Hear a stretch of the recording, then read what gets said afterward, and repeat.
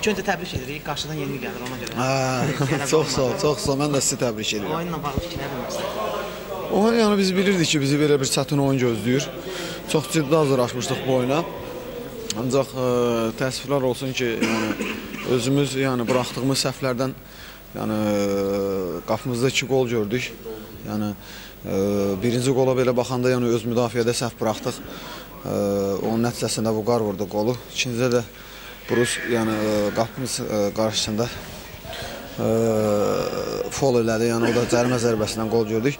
Ancaq belə baxanda yəni ayrı-ayrılıqda belə epizodları götürəndə yəni qapımızda elə də təhlükəli epizodlar yəni mən ə, yadıma gəlmir. Yəni qol düzdür, məğlub olmuşuq. Yəni bu hansısa bir futbolçuların üstünə atmaq lazım deyil. Çünki məğlub olanda bütün komanda məğlub olur.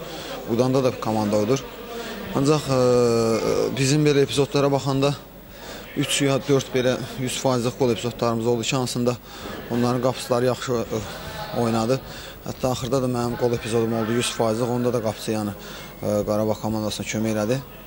Ancaq buna baxmayaraq biz yenə də ümidlərimizi itirmirik. Yenə də yuxarı yerlər üçün mübarizə aparacağıq. İnşallah yeni ildən sonra da bu təlim məşq toplanışında da bizə lazım olan yəqin ki, ə, yeni futbolçular gələcək, komandanı gücləndirəcəklər və yeni ildən sonra tamam başqa Inter görəcəyiz inşallah. Ə, Bu il Inter ə, mövsümə yəni pis başladı. Pis də bitirdi. Ancaq maraqlıdır ki, yəni komanda outsiderlər oyunda özünü göstərir, ancaq liderlər oyunda heç də yəni özünə bənzəmir. Niyə? Yəni bugünkü oyunda belə baxanda düzdür. Qarabağ bizdən to topu çox saxlayırdı. Yəni ə, kontrol çox idi topa. Ancaq ə, o o demək deyil ki, yəni biz güclü komandalarla zəif oynayırıq, zəiflərlə güclü oynayırıq. Futboldur bu. Futbolda hər bir nəticə olur. Biz yəni ə, istəmirdik ki, bu günləri məğlub olaq. Çünki çox yenə də qeyd edirəm, çox yaxşı hazırlaşmışdıq. Ancaq futbolda hər bir nəticə ilə yəni barışmaq lazımdır. Uduzmağı da bacarmaq lazımdır. Və qarşıdan ə, yaxşı Komandanın hansı əsas problemi nədir? Qeyri-stabil çıxışı. Qeyri-stabil çıxışanda deyəndə ki, yəni bi- biz bu 8 tur idi, neçə tur bundan qabaq bir dənə Qəbələyə uduzmuşuq. Qalan oyunların hamısını neçə oynayırdıq, ya udurduq.